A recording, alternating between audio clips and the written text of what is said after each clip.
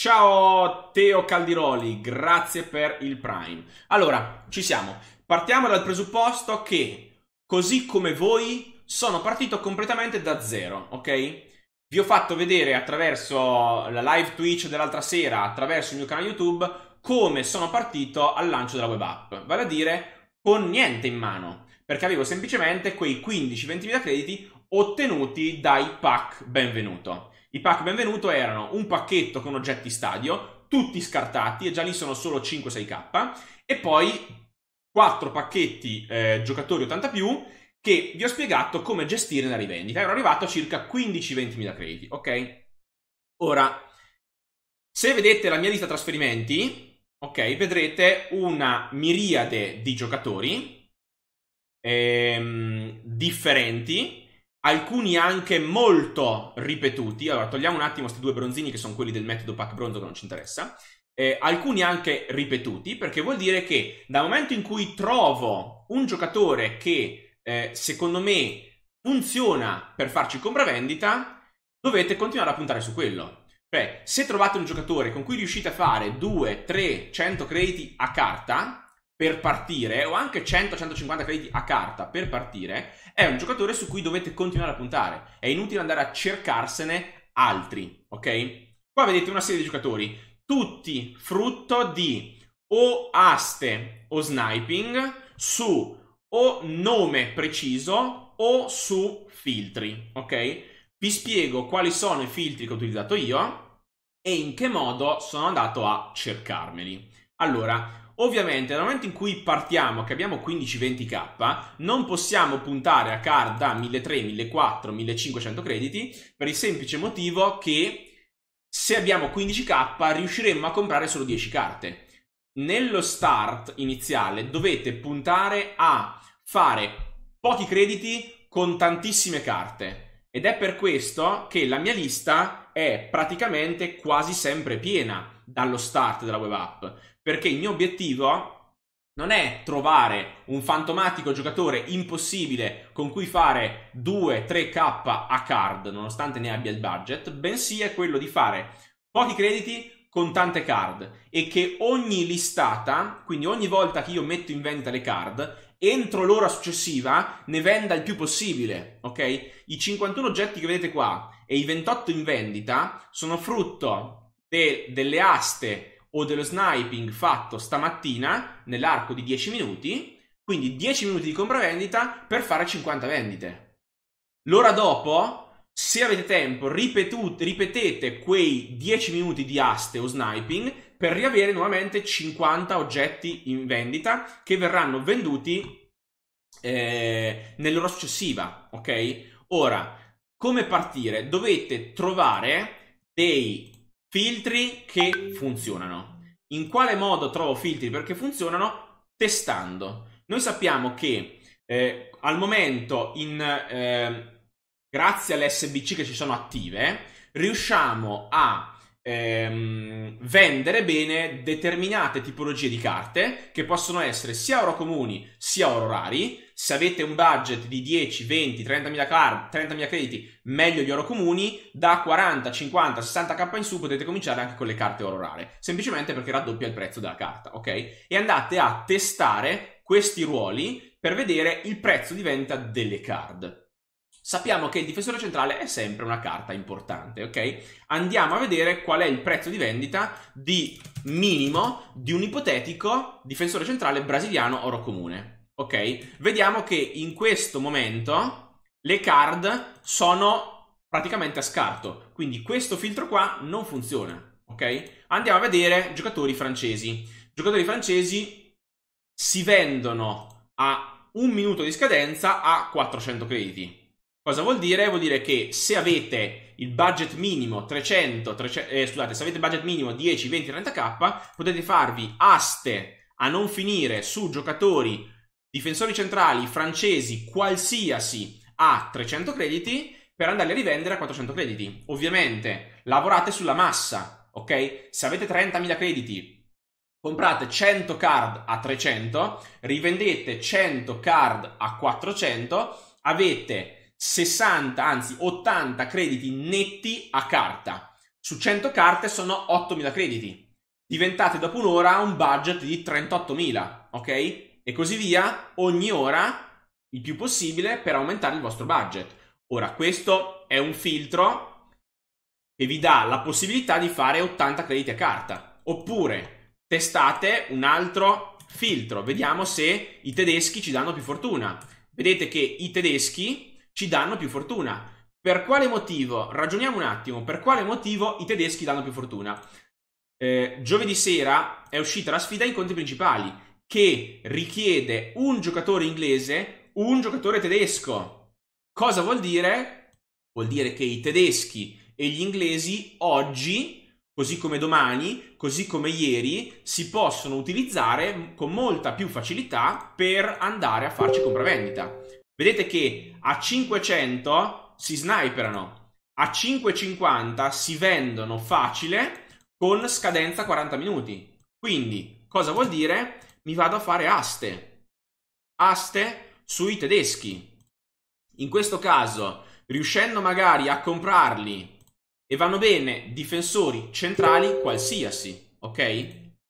Difensori centrali qualsiasi. Posso comprare a 400, rivendere a 550, posso anche comprare a 450 e provare a rivendere a 600. In questo caso, in questo caso, una vendita a 600 con acquisto a 450 comporta che io guadagni 120 crediti a carta. E anche qui dobbiamo lavorare sulla massa sulla massa, quindi 120 crediti per 100 carte, è il limite massimo di, di card che possiamo mettere in vendita per la lista trasferimenti, sono 11.200 crediti in, ehm, in un'ora, perché la listata dura un'ora. Entro un'ora cerchiamo di vendere 100 card, quindi sono 11.000 crediti di profitto e il vostro budget da 40k diventa 50k poco dopo. Oppure abbiamo detto l'Inghilterra è l'altra nazione interessante. Vedete che in questo caso gli inglesi si vendono a 4,50. Quindi cosa potete fare? Anche qua, aste a 300, 3,50 e rivendere a 4,50, 500. Ok?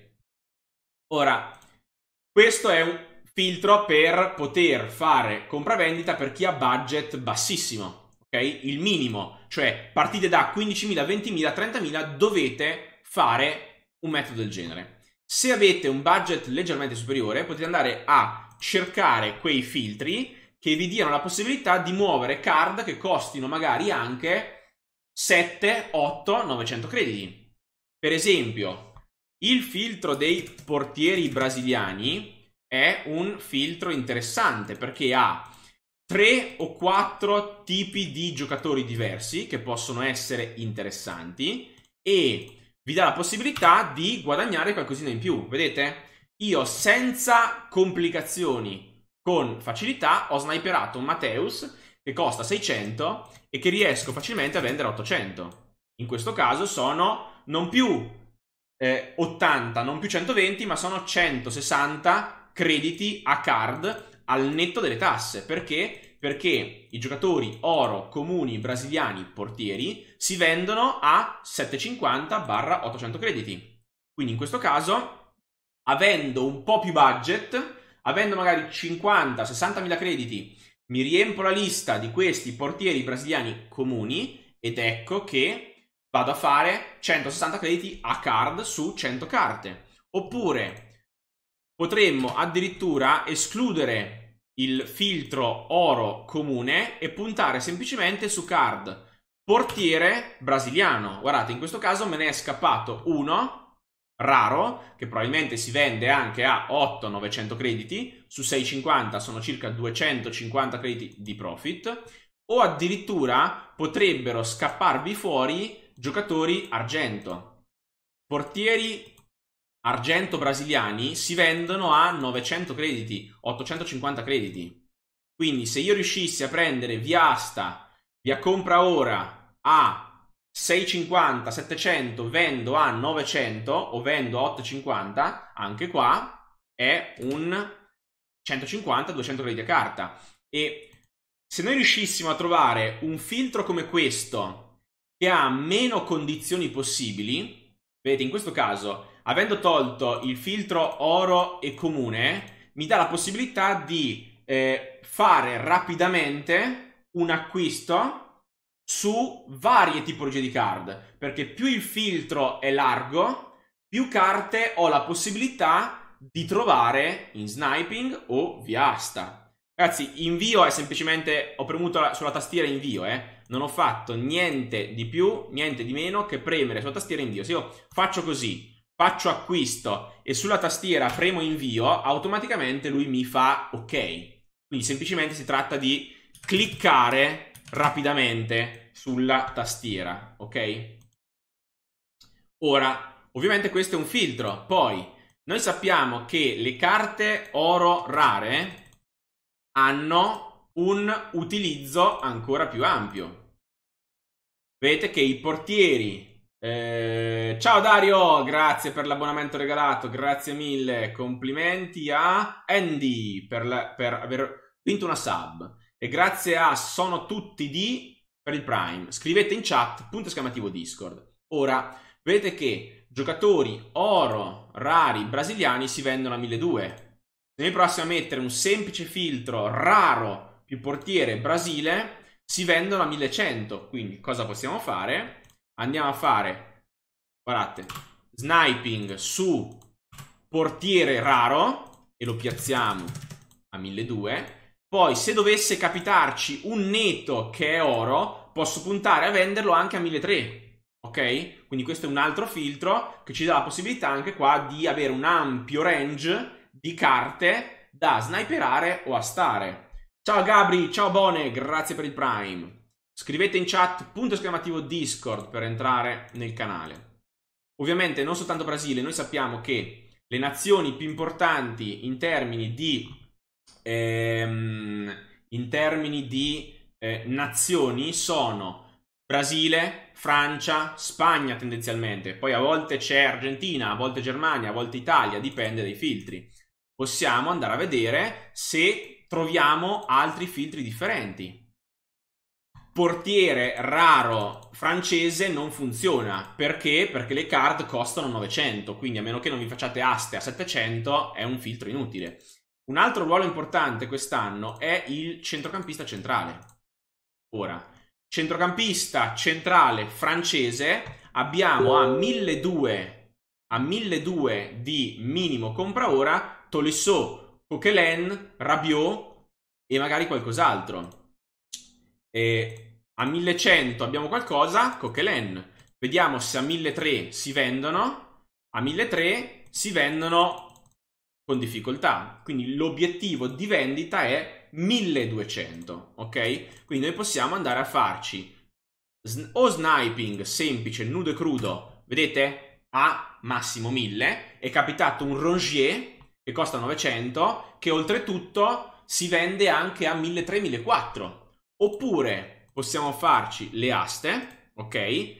Guendouzi è un giocatore che potenzialmente possiamo considerare anche, non dico semi gameplay, ma per uno starter team iniziale, quindi possiamo puntare a venderlo anche a 1300-1400, non soltanto 1000-1100, perché è un giocatore utilizzabile, ok, al, al um, sia per l'SBC sia per il gameplay. Ora, qualcuno solleva la questione del 38 minuti di asta. Vi spiego come ovviare a questo problema, ok? Se voi fate una ricerca di carte senza mettere filtri prezzo, come vedete, 0 qua, 0 qua, 0 qua, 0 qua, trovate tutte le card in vendita a, ehm, a scadenza 30 secondi. Quindi potete andare avanti, controllare, quando c'è un giocatore a 950, 1000, 1100, ecco questo me l'ha anciullato col compra ora, potete fare un'asta, ok? Quindi questo è il metodo per ovviare eh, le aste a scadenza lunga, oppure, oppure, un'altra cosa,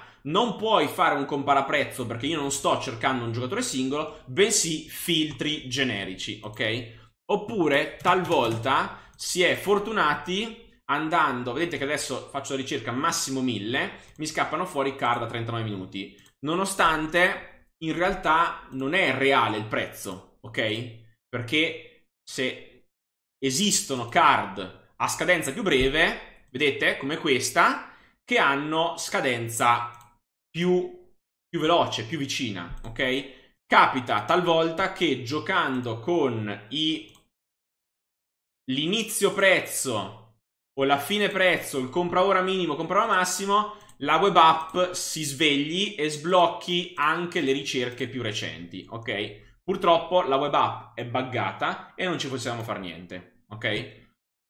Poi, dal momento in cui raggiungete un budget eh, di compravendita di almeno 70, 80, 90, 100.000 crediti, potete andare a mixare sia i filtri di cui vi sto parlando e metterli assieme a determinate carte gameplay che potrebbero essere utili nei prossimi giorni. Ok?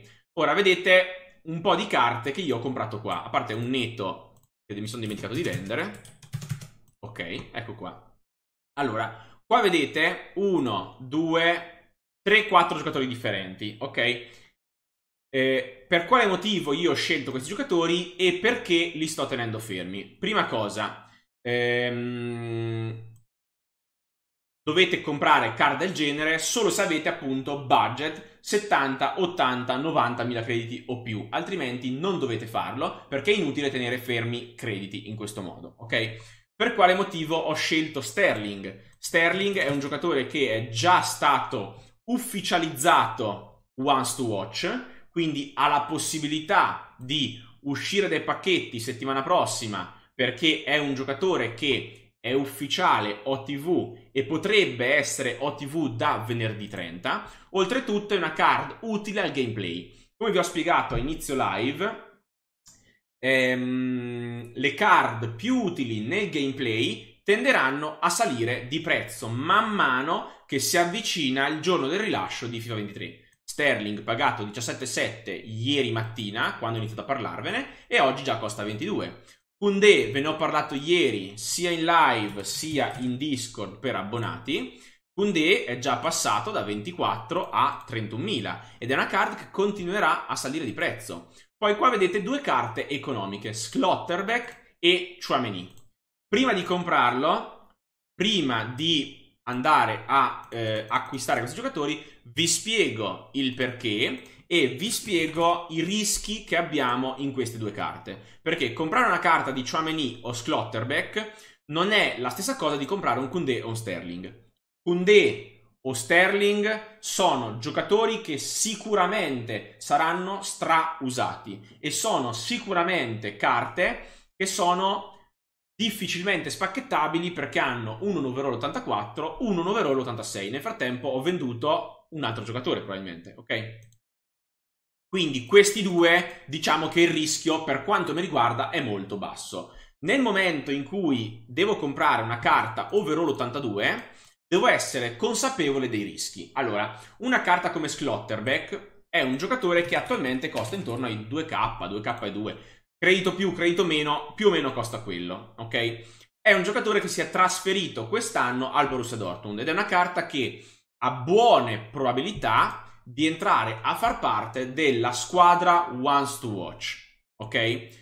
Essendo un giocatore che è utile agli starter team perché ha delle stats interessanti per uno starter team della Bundes.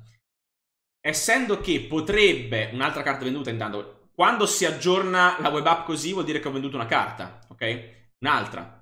O che è scaduta un'asta, ovviamente. Quindi, una carta come Slotterback è una carta che se dovesse entrare nei pacchetti come OTV, la sua carta oro uscirebbe dai pack. Contestualmente, nel momento in cui la gente deve andare a comprare Slotterback per metterlo nello starter team, e non si può permettere la carta OTV che magari costerà 30.000 crediti, 20.000 crediti, non lo so, andrà a comprarsi la nostra carta oro che in quel momento è diventata più rara perché non è più disponibile nei pacchetti. Qual è il rischio? Che se Schlotterbeck non dovesse far parte della squadra Once to Watch, sarà spacchettata a dismisura e dimezzerà di prezzo. Questo è il rischio Qualora invece entrasse nel team da tenere d'occhio, allora potrebbe facilmente raddoppiare il suo prezzo. Altro discorso, Chouameni. Chouameni ha la stessa medesima eh, caratteristica di Slotterbeck, la differenza è che probabilmente è più apprezzato e più utilizzato. Perché? Perché è francese, non è tedesco, perché è del Real Madrid e non è del Borussia, ok? Quindi permette di linkare qualsiasi cosa. Da Rodrigo a Vinicius, a Militao, a Rudiger, a Mendy, a Courtois, qualsiasi o a Camavinga, qualsiasi giocatore del eh, Real Madrid e qualsiasi giocatore francese. Oltretutto, oltretutto ehm, è un giocatore che ha avuto un trasferimento importante nella stagione estiva ed è un giocatore che secondo me ha buone probabilità di uscire OTV. Lui, così come Slotterbeck, ha il rischio che se non dovesse uscire OTV, quasi sicuramente perderà di prezzo perché è una carta valutazione 82 ed è una carta facilmente spacchettabile, così come Slotterbeck. Chiaro che Chouameni ha un utilizzo molto più ampio rispetto a quello che ha Slotterbeck. Ciao Giovanni, grazie per il Prime, ben arrivato. Se invece dovesse uscire OTV, Chouameni è una carta che facilmente può andare a toccare gli 8-9 mila crediti. Quindi valutate bene il rischio di un investimento del genere, valutate bene se vi conviene rischiare 1000 crediti su Slotterback o 2000 crediti su Chouameni o se avete un budget tale da permettervi di acquistare carte gameplay più grosse.